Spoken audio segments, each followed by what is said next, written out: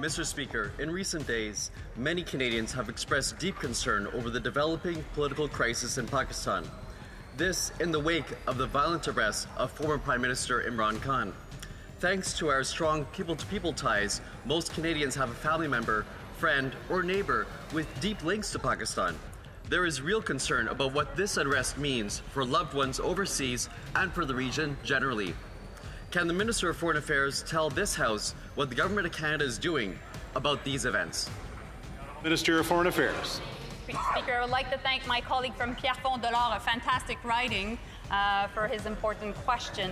The recent images of the Imran Khan arrest are deeply troubling, and so we are uh, very preoccupied with the political crisis that is happening right now in Pakistan, and we're monitoring the situation very closely, and I'm receiving regular updates. Of course, Canada will always stand up for human rights, for the rule of law, for democratic values, and free and fair elections. And so we'll continue to engage on this very issue with Pakistan and, of course, with the community here in Canada. Mr. Speaker, in recent days, many Canadians have expressed deep concern over the developing political crisis in Pakistan.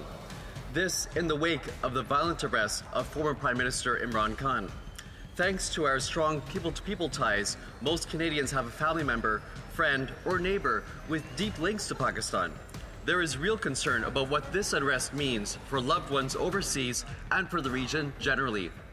Can the Minister of Foreign Affairs tell this House what the Government of Canada is doing about these events?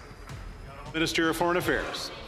Speaker, I would like to thank my colleague from Pierrefonds Dollard, a fantastic riding, uh, for his important question. The recent images of the Imran Khan arrest are deeply troubling, and so we are uh, very preoccupied with the political crisis that is happening right now in Pakistan, and we're monitoring the situation very closely, and I'm receiving regular updates. Of course, Canada will always stand up for human rights, for the rule of law, for democratic values, and free and fair elections. And so we'll continue to engage on this very issue with Pakistan and, of course, with the community here in Canada. Mr. Speaker, in recent days, many Canadians have expressed deep concern over the developing political crisis in Pakistan.